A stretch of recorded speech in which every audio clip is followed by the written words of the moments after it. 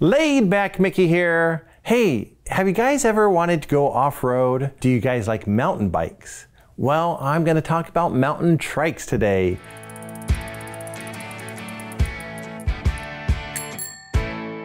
When you think of a mountain bike, you think, ah, I can go on the road or off the road. The same thing is with a mountain trike or an off-road trike. It's an on the road, off the road trike. So there's many different trikes you can go with that are off-road trikes. You can go with the all-terrain by TerraTrike. You can go the ICE full fat or you can go the Stein trikes, which are full suspension, have tons of movement on it so you can hit all the dips and dives in the terrain and they're super fun. So if you like mountain biking, you're gonna like mountain triking. And so the all-terrain, it has the Schwalbe tires on it, but they're meaty on the outside with a nice little thin strip on the inside. So you could run the tire pressure high so you could go on the road and be cruising at a nice little speed, or you could lower the pressure a little bit and you can go in the mud and the dirt. On this particular trike right behind me here, it's higher, higher off the ground, higher than a conventional trike. So some trikes you go, oh, those are really low.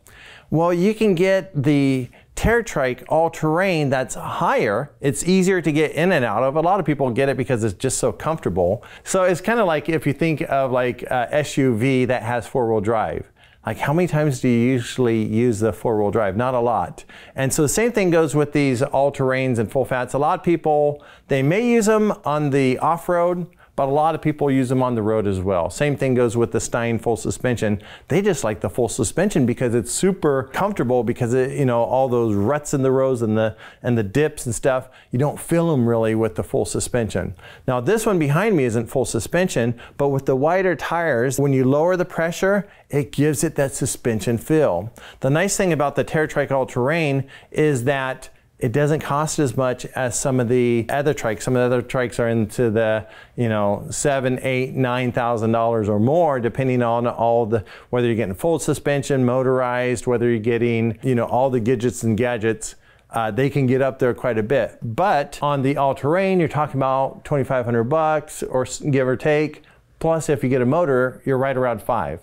So it's very affordable for a nice electric off-road trike, or if you just want standard, hey, it's a little over a couple grand. All terrain's a great trike, but I want to take outside the new Stein trike full suspension wild one. So let's go get wild outside. Make sure to subscribe to the Laid Back Cycles channel for everything about trikes. Okay, so I am on the off-road 2020 Stein Wild One. Since we don't have a lot of off-road off-road, we're gonna use our curbs and stuff to simulate big old bumps around here.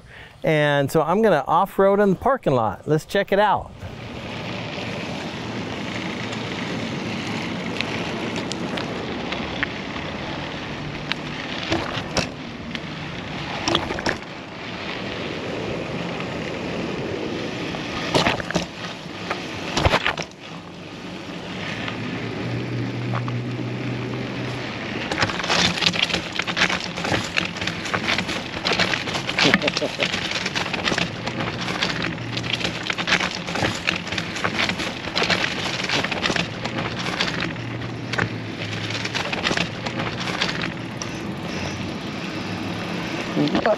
So in general, off-road trikes, they're gonna be a little higher off the ground.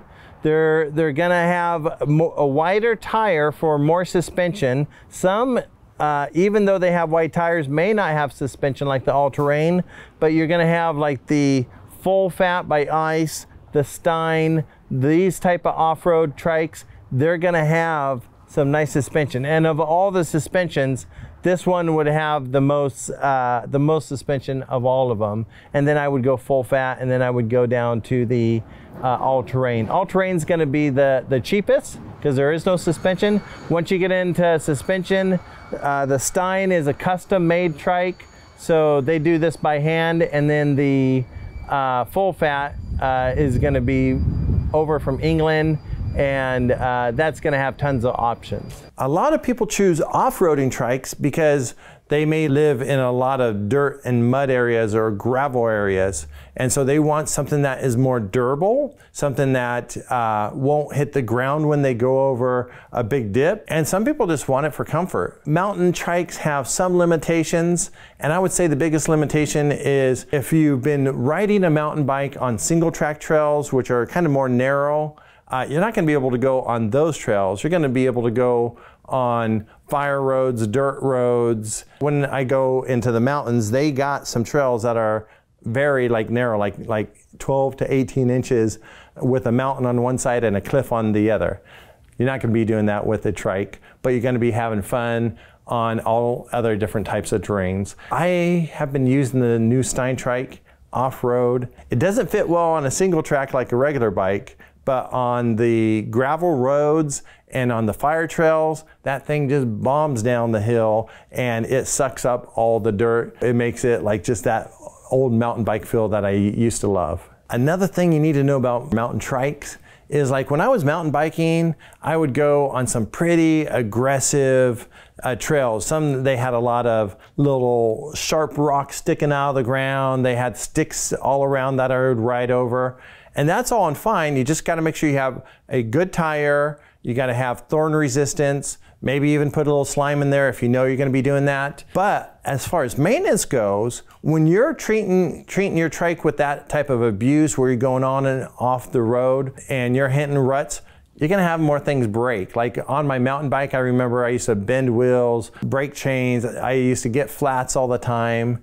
And so when you have an off-road trike that you truly take off-road, you want to make sure you have an extra tube, you got your tire levers, you got to maintain your trike. Make sure that you lube your chain, keep the proper amount of air in there, make sure that your brakes work so when you're going down that fire trail really fast that you can stop at the bottom. So there's a little bit more maintenance if you're using it truly as a mountain trike. Now if you're just say I want a trike that's that's higher off the ground and full suspension for the comfort, just ride it and have fun on the bike trail or on your regular uh, neighborhoods. But uh, some of these can go some pretty crazy places.